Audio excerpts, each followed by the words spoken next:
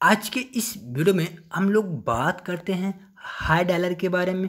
Friends, बहुत सारे users ने कमेंट किया, सर, हाई डॉलर में थ्री अकाउंट्स होते हैं, ठीक है? फ्लेक्सिबल अकाउंट, सेविंग अकाउंट और रिवार्ड अकाउंट। तो ये तीनों अकाउंट क्या हैं? प्लीज़ इसके बारे में डिटेल हमको बताइए।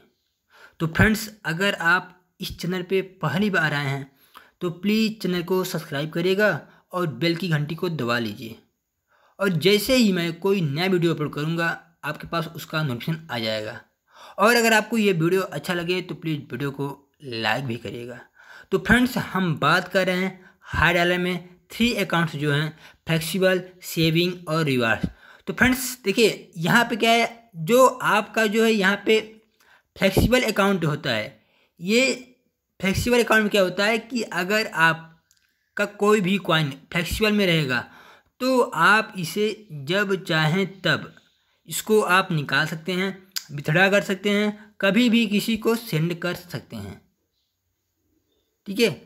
और जो आपका ये सेविंग अकाउंट है, अगर मान लीजिए कोई चीज़, अगर आपने हार्ड डॉलर को परचेज किया तो जब आप हार्ड डॉलर को परचेज करेंगे, ठीक है तो होगा क्या?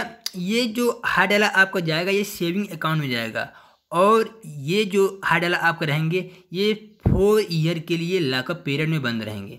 मतलब चार साल, बहुत ही लॉन्ग टर्म के लिए ये लॉकअप पीरियड में क्या रहेंगे? बंद रहेंगे। और जब ये लॉन्ग पीरियड में बंद रहेंगे, ठीक है फोर ईयर के बाद, उसके बाद फिर आप इसको क्या निकाल विड्रा कर सकते हैं। ठीक है? मतलब कि फ्लेक्सिबल में आप जब चाहे तब निकाल सकते हैं और सेविंग में आप अगर हार्ड डाला बाय करते हैं तो सेविंग में जाएगा और आप इसे जो है आफ्टर फोर ईयर के बाद ही इसको यूज़ कर सकते हैं। ठीक है? और जो रिवार्ड आपका अकाउंट है, ये जो रिवार्ड आप, ठीक है? आपको जो रिवार्ड मिल रहा है डेली जो आप क्लेम करते हैं, इसको आप जो है आफ्टर वन ईयर के बाद मतलब वन ईयर के बाद आप इसे यूज़ कर सकते हैं। ठीक है?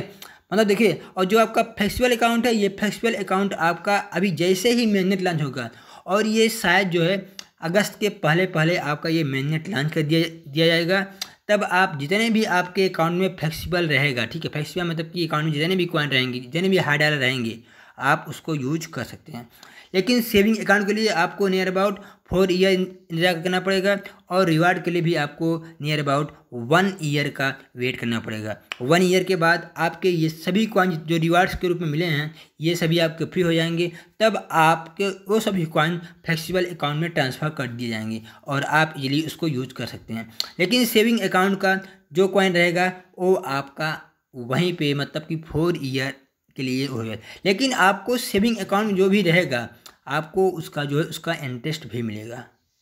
तो शायद आपको अब समझ में आ गया होगा, फिर भी अगर आपको अभी भी नहीं समझ में आ रहा है फ्रेंड्स तो आप मुझसे मेरे टेलीग्राम चैनल पे या फिर मुझसे मेरे व्हाट्सएप नंबर पे चैट कर सकते हैं। ठीक है? मैं आपका हर प्रॉब्लम सॉल्व करने की कोशिश करूँगा। थैंक यू इस वीडियो में इतना ही।